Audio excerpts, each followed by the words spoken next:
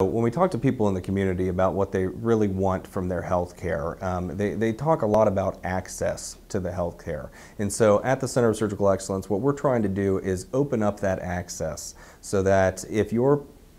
primary care provider believes that you need to see a surgeon for an urgent issue, we're going to be able to get you in that same day or at the next day at worst you know. Um, and if your primary care provider needs to speak to a surgeon just to try to get an idea of what's the next best step for their patient, they can call us on our cell phone or at the office, and we're going to have somebody available to talk to them, physician to physician.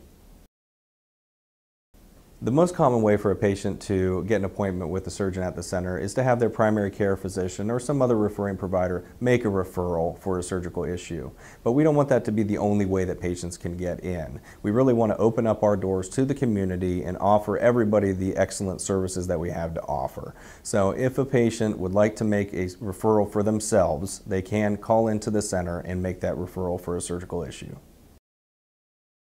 Really, the main goals at the Center of Surgical Excellence are to offer our patients the best possible surgical outcomes and the best experience that they can have, and to open up access to those outcomes and those experiences to more of the community.